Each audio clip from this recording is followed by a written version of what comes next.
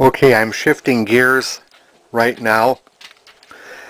This 12 inch table model 1950 Zenith porthole set is actually more important to me than the uh, 19 inch mahogany console that I had started to work on and discovered that it had an open focus coil. So until I can get a replacement focus coil assembly for it, which I may or may not be able to find. I have to set that aside. And this is the third uh, porthole set I have. And like I say, this set is more important to me because it's pretty much practically family. It um, it came from a family friend. It was given to me in the 1970s.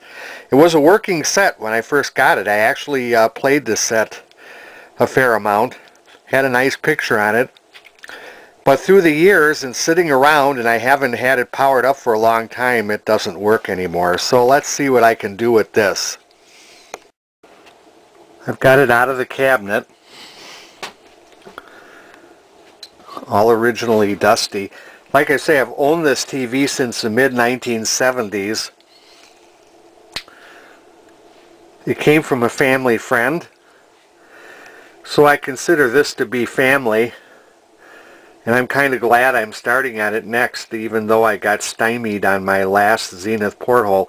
This is the third and the only Zenith porthole set I will ever work on aside from the one if I can ever finish it with a focusing coil. If someone has one for me maybe I'll find one. But for now it's too bad that other set's got a good tube in it too, a good picture tube. One will come along perhaps, but we'll see what I can find with this one. I'll see what uh, what's to be uh, fixed on it. It did work when it was given to me, and I actually had it playing for oh two or three years before I set it aside and it didn't get uh, turned on anymore. I uh, tried powering it up oh a little while back and I got a loud hum out of the transformer so I suspect that something, maybe a filter cap or something is shorted. I don't know. It has a 12 UP4 metal picture tube in it. The tube was reasonably bright when I had it working. I'm going to test it so I don't suspect that it's um, that it's really aged beyond giving me a uh, an image of some sort. Now the best I could find is G2327R7 as the model on the internet, but I don't think that's right because that set as pictured does not have the antenna tuner up at the top of the bezel, that, that knob that you turn right here. This one does. And uh, it also lists that that has a 23G24 chassis in it. This has a 23 G22 or 23. I think this is probably a G22.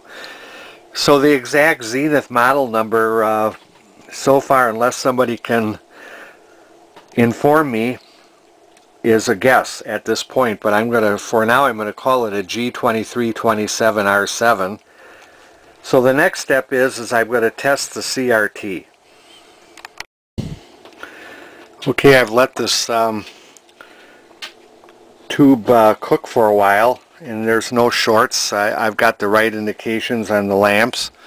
Emissions, well we're right on the border. Right on the border. So the tube is not that good. Let's see what cutoff says. And well it's got cutoff but not very good emission. Well, I'm not going to worry about that. Ooh, it's even going down a little bit. wow. I don't know, maybe maybe this tube isn't uh, really worth it seemed to me that it did have a picture on it so I don't know I could still still rebuild it and hope for the best on that tube but you know the the tube just doesn't seem that good Yeah. I could do a rejuve on it, I guess. And see it's even dropping a little bit.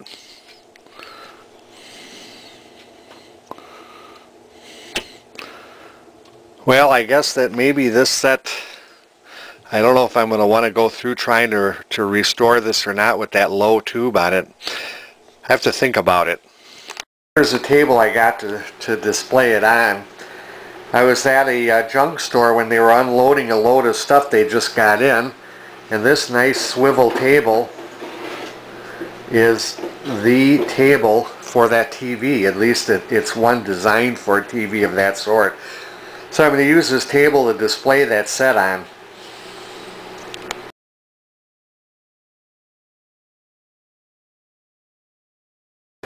So here I got it back together and on its on the table I got for it. It fits that table just nicely. That table like like it was really meant for that table. The swivel doesn't work very well with the, the weight of the set on it, but it's an old table probably in its day that was a fairly cheap table. Um, but it supports that set nice and that's actually where that set should sit is on a table of that type. So for now it's going to be just a display piece in my collection. It's uh, with the, the CRT is, is weak or non-existent as it is. I don't see that I can uh, spend too much time trying to restore it.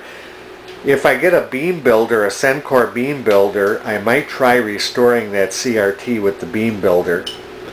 If I can restore it, then uh, then I might uh, uh, try to try to get this set working. But uh, we're in July of 2016, and this is as you know, I got this uh, Sears set, Silvertone, and then I've got the uh, Tennenson, the 19-inch uh, Zenith 1951 uh, Tennenson to finish. So this is going to just be a display piece in my collection for now. That's about it.